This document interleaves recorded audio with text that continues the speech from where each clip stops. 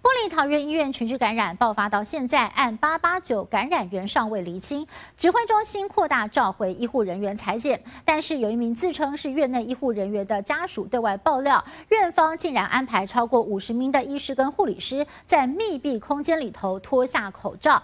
排队等筛检，指控这根本就是防疫破口。但是指挥官陈时中在今天回应，不太可能会有这种状况，也没有接获到投诉或者是报告哦，但是会持续的调查。